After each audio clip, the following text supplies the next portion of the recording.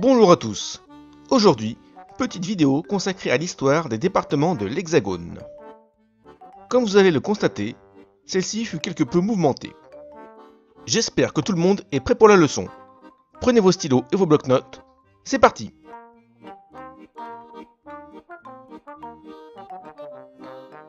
Jusqu'à la Révolution, la France était partagée en duchés, comtés, principautés et autres marquisats. Quoi Quoi? Répète Ceux-ci correspondaient à des régions historiques et des pays ou des paysages. Bien sûr, leurs superficies différaient grandement les unes des autres. Le 22 décembre 1789, l'Assemblée constituante décrète la création de 83 départements.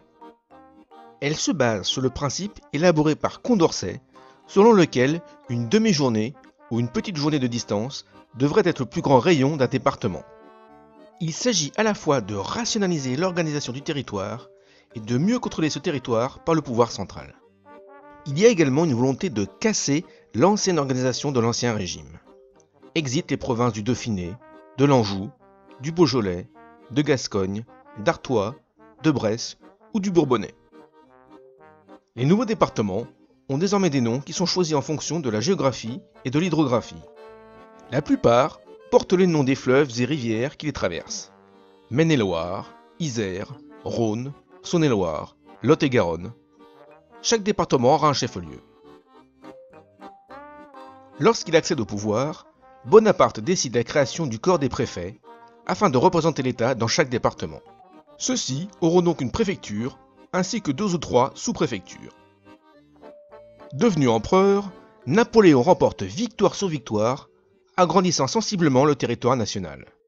Et tout naturellement, il organise les territoires conquis selon le découpage départemental. En 1811, la France compte 130 départements, notamment en Catalogne, en Belgique, dans le nord de l'Italie et l'ouest de l'Allemagne. Certains de leurs noms pourraient faire aujourd'hui un peu sourire. Sambre-et-Meuse, Bouches-du-Rhin, Meuse inférieure, Bouches de l'Elbe, Rhin et Moselle, Bouches de l'Escaut.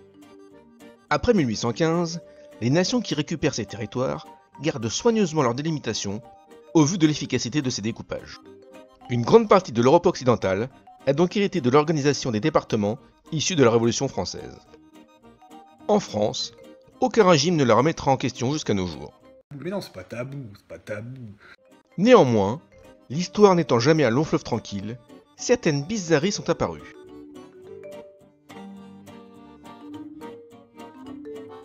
Ce département a une particularité. Il porte le nom d'une rivière qui ne traverse pas. Et oui, vous aurez beau arpenter le département de long en large, jamais vous ne pourrez tremper vos pieds dans le Var. Alors, vous devez vous dire que les géomètres de l'époque avaient un peu forcé sur la bouteille.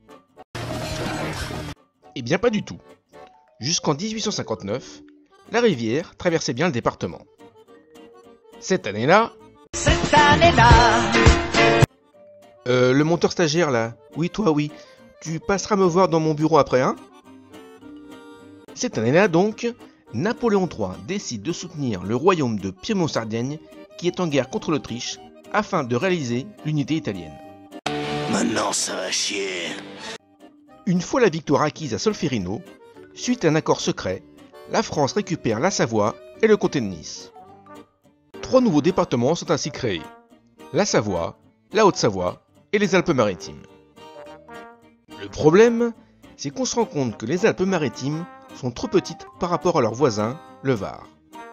On décide donc de lui rattacher l'arrondissement de Grasse, par où passe la rivière. Sans qu'on s'en rende compte, le département du Var perd donc la rivière qui lui donnait son nom. À la boulette. Le département du Var décide néanmoins de garder ce nom.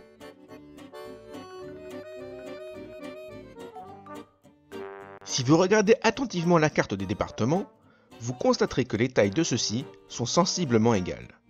Sauf ce minuscule caillou à l'est, le territoire de Belfort. Qu'y a-t-il à Belfort de si particulier pour lui consacrer un territoire? Là encore, l'explication est historique. En 1871, suite à sa défaite face à la Prusse, la France perd la Moselle et les deux départements de l'Alsace. Néanmoins, les négociateurs arrachent à leurs ennemis la ville de Belfort, en Alsace, qui restera française. Oh J'ai le droit de vivre un peu En effet, pendant la guerre de 1870, alors que l'armée impériale s'effondre, Belfort résiste héroïquement aux envahisseurs sous la conduite du général d'Enfer Rochereau. Belfort restera donc française et un petit département est créé à son honneur. On peut d'ailleurs y admirer une gigantesque sculpture d'un lion, œuvre de l'artiste Bartholdi, symbole de la résistance de la place forte. Une réplique a été créée à Paris, sur la place qui porte le nom du fameux général. Pour l'anecdote, une légende raconte que toutes les nuits, alors que les Parisiens dorment, le lion descend de son socle et part faire une balade dans les rues de la capitale. Mais enfin, ça va pas Si vous ne me croyez pas, à vous d'aller vérifier.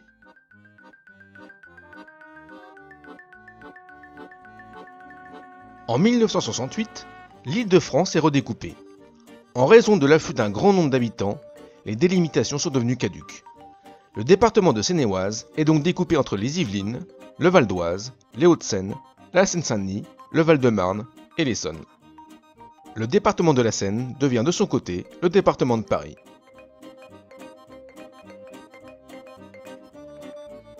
Un certain nombre de modifications sont intervenues au XXe siècle pour faire disparaître les expressions jugées dépréciatives, telles les adjectifs bas ou inférieur, ou encore la référence à l'orientation septentrionale. Ainsi, en 1941, la Charente inférieure devient la Charente maritime. En 1957, la Loire inférieure devient la Loire atlantique. En 1969, c'est au tour des Basses Pyrénées d'être rebaptisées Pyrénées-Atlantiques. L'année suivante, les Basses Alpes deviennent les Alpes de Haute-Provence. Enfin, en 1990, les Côtes du Nord, en Bretagne, sont rebaptisées Côtes d'Armor. D'autres ont décidé de garder leur nom, tels que le Bas-Rhin et le Nord. C'est le Nord. Pour finir, j'aimerais attirer votre attention sur le fait que citer certains noms de départements pourrait heurter la sensibilité de certains, et en cette période de cancel culture, il convient d'être prudent. Audi, Panem, Quid, Meliora. Ça veut rien dire, mais je trouve que ça boucle bien. Donc, à l'avenir, ne dites plus le Loir est cher, mais le Loir n'est pas à la portée de toutes les bourses. De même, ne dites plus pas de Calais, mais le stock de Calais est épuisé, mais sera bientôt renouvelé. Enfin, évitez de dire l'île est vilaine, mais l'île n'est pas une reine de beauté. Voilà, c'est tout pour aujourd'hui. N'oubliez pas de liker, de partager et de vous abonner. A bientôt